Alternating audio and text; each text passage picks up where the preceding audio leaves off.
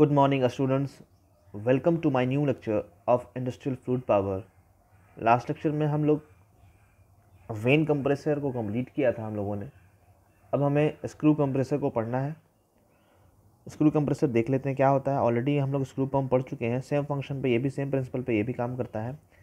Actual में screw compressor क्या होता है? एक तरह का रोटरी कंप्रेसर है जिसमें स्क्रू के रोटेशन की वजह से कोई गैस को एयर को कंप्रेस किया जाता है। हमने पंप देखा था, स्क्रू पंप। वहाँ पर हमने देखा था, दो स्क्रू लगा हुआ था और दोनों, एक में हमने मोटर मोटर कनेक्ट कर दिया था मोटर से। दूसरा स्क्रू, इसी स्क्रू की वजह से दूसरा स्क्रू भी रोटेट हो रहा था। वहाँ पर हम लोग गियर लगाए हुए थे टाइमिंग गियर लगाए सेम फ़ंक्शन सब कुछ सेम रहता है। यहाँ पर भी क्या रहता है, दो स्क्रू लगा हुआ है। फ़र्स्ट जो है वो ड्राइविंग साफ्ट से कनेक्टेड है और सेकंड जो है ड्रिवन साफ्ट से कनेक्टेड है। फ़र्स्ट में फ़र्स्ट का कनेक्शन हमने मोटर से कर दिया है, जिसकी वजह से वो रोटेट होगा। और स्पीड के लिए स्पीड को ट्रांसफ़र करने के लिए और स्पीड को कंट्रोल करने के लिए हम लोग टाइमिंग गियर लास्ट में लगाए हुए रहते हैं, जो एक शाफ्ट से दूसरे शाफ्ट में रोटेशन को प्रोवाइड करता है।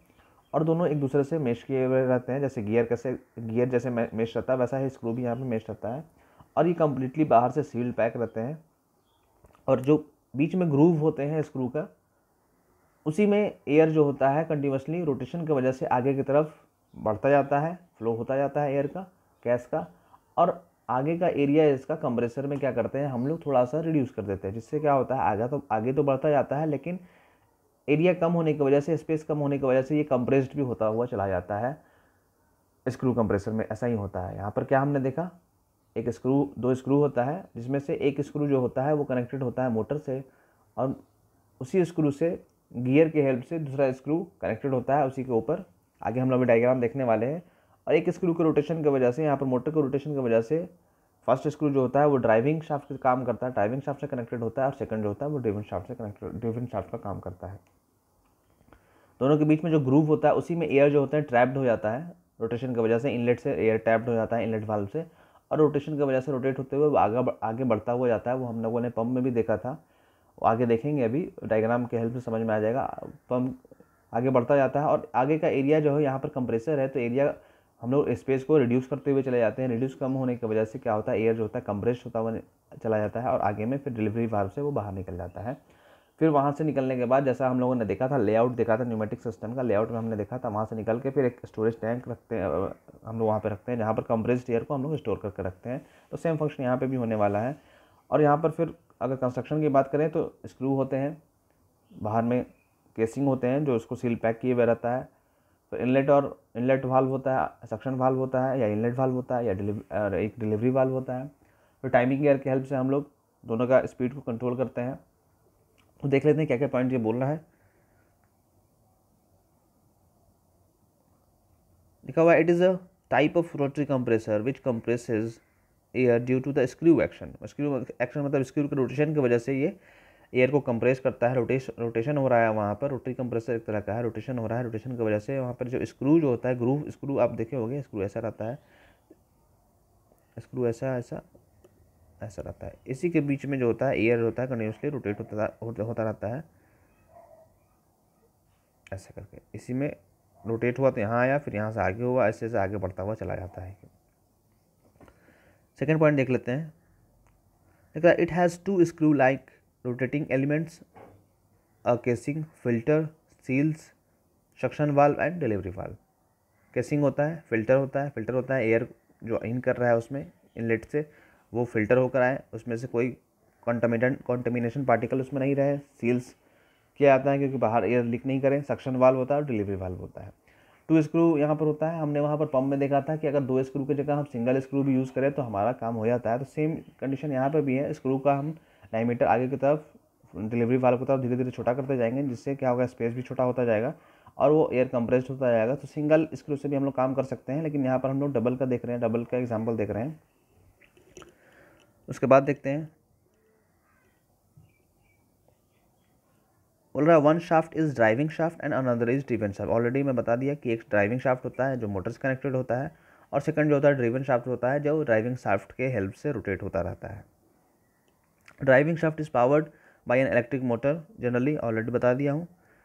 फिर लास्ट पॉइंट है यहाँ पर का the air enters the gap between two screw cut over the shaft जो शाफ्ट पर जो स्क्रूव कटे हुए होते हैं स्क्रू के, उसी में एयर इंटर करता है। As two screw turn in the in opposite direction the air gets trapped in the groove between the two screw दोनों स्क्रू जो होता है, वो अपोजिट डायरेक्शन में काम कर रोटेट करता है।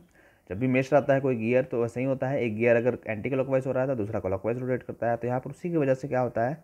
एयर जो होता है, वो वहाँ पर जो स्पेस होता है ग्रुप्स होता है, उसी में ट्रैप्ड हो जाता है। ट्रैप्ड होकर वो कंटिन्यूसली रोटेशन में आता है रोटेट होते हुए। स्क्रू के ग्रुप्स जैसा जैसा आगे बढ़ता जा रहा है रोटेट हो होगा तो आप देखोगे, अगर आप उसके ग्रूव पर, आप फिंगर को आगे तरफ़ ले जाओगे तो आप उसी पर ग्रूव पर धीरे धीरे धीरे धीरे आपका हैंड आगे बढ़ता हुआ चला जाएगा। वहाँ पर कंटिन्यूस गोल गोल आप रोटेट करते जाओगे, आगे बढ़ते जाओगे। वैसा ही यहाँ पर भी होता है एयर जो होता है, वो कंटिन्यूसली जो होता है, उसी ग्रूव में आगे की तरफ़ धीरे धीरे धीरे धीरे रोटेशन की वजह से वो आगे बढ़ते जाता है और आगे का एरिया हम लोग कम करते जाते हैं, जिससे वो कंप्रेस होता जाता है।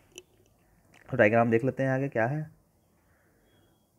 सेम जैसा पंप में हमने देखा था, उसी टाइप का है। यहाँ पर थोड़ा सा लास्ट में आउटलेट के पास यहाँ पर एरिया कम हो जाता है, बाकी हर एक चीज़ सेम है।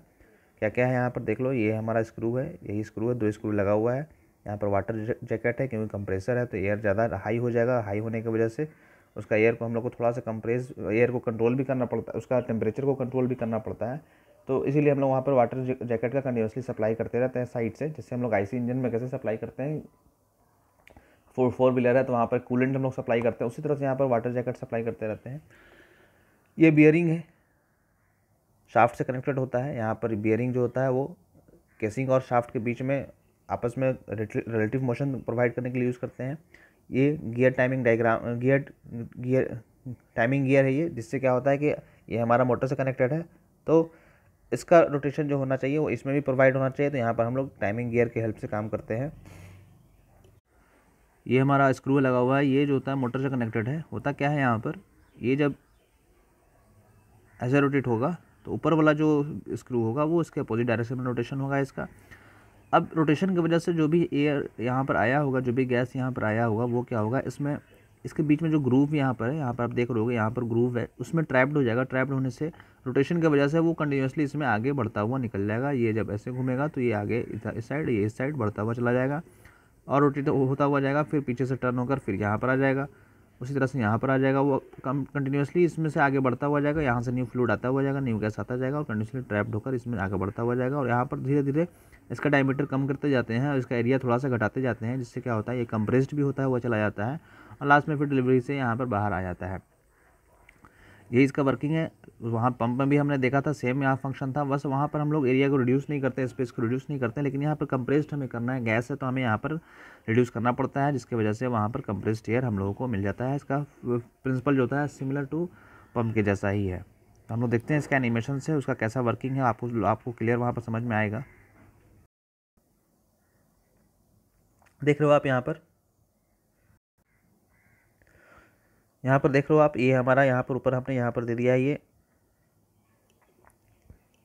मोटर से कनेक्टेड है ये।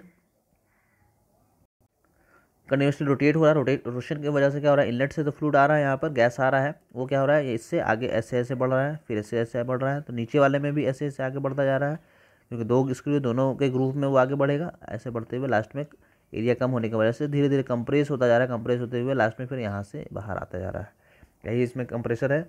सेम जैसा हमने पब में पढ़ा था, सेम फ़ंक्शन है यहाँ पर। यहाँ पर बस गैस यूज़ करते हैं और लास्ट में यहाँ पर एरिया को हम लोग रिड्यूस करते हुए चले जाते हैं। स्क्रू का जो होता है डायमीटर को वो छोटा धीरे धीरे थोड़ा रिड्यूस करते हुए चले जाते हैं, जिससे क्या होता है, जो ग्रूव का स्पेस होता है केसिंग और शाफ्ट के बीच में जो थोड़ा सा स्पेस होता है, जिसको हम लोग ग्रूव बोल रहे हैं, जो कटा हुआ पोर्शन है स्क्रू में धीरे धीरे जो स्पेस होता है वो धीरे धीरे छोटा होता जाता है, जिसकी वजह से कोई भी गैस या, अगर एयर हम यूज़ करेंगे वहाँ पर तो वो कंप्रेस होता हुआ चला जाएगा।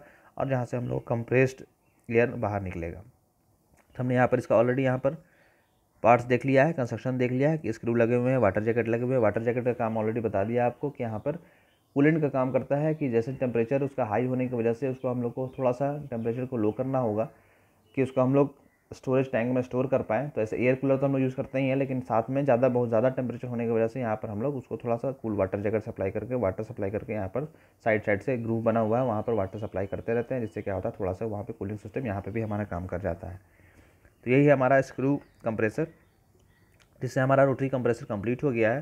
रोटरी कंप्रेसर कंप्लीट हो गया, अब हम लोगों को वाल्व पढ़ना है तो नेक्स्ट लेक्चर में हम लोग वाल्व स्टार्ट करेंगे। वाल्व क्या होता है? वाल्व के टाइप्स क्या होते हैं? वैसे ऑलरेडी हम लोग वाल्व भी देख चुके हैं वहाँ पर। सेम वाल्व यहाँ पे भी पढ़ना है। Pressure control valve direction control valve flow control valve same valve हम लोग को यहाँ पे भी पढ़ना है। तो थोड़ा थोड़ा करके देख लेंगे उसको भी देख लेंगे। अप, अपने पास अभी टाइम है तो एक एक लेक्चर में एक एक चीज़ को डिस्कस करते हुए आगे बढ़ता बढ़ते चले जाएँगे हम लोग। इजली हमारा सारा टॉपिक कंप्लीट हो जाएगा। तो आज का लेक्चर यहीं पर स्टॉप करते हैं। वीडियो को देखने के लिए thank you so much video को देखने के बाद लाइक और शेयर ज़रूर कीजिएगा और चैनल को सब्सक्राइब भी कीजिएगा। Thank you so much